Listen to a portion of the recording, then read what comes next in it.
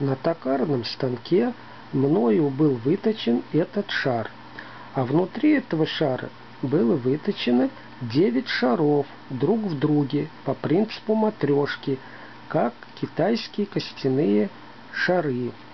Наружный диаметр шара 39 мм. Самый маленький шарик имеет наружный диаметр 5 мм. Внутренние шары образованы пересечением 12 сфер.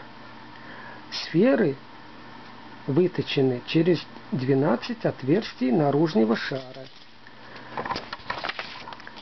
На этой фотографии показаны все 9 шаров внутри. Раз, два, три, четыре, пять, шесть, семь, восемь, девять штук.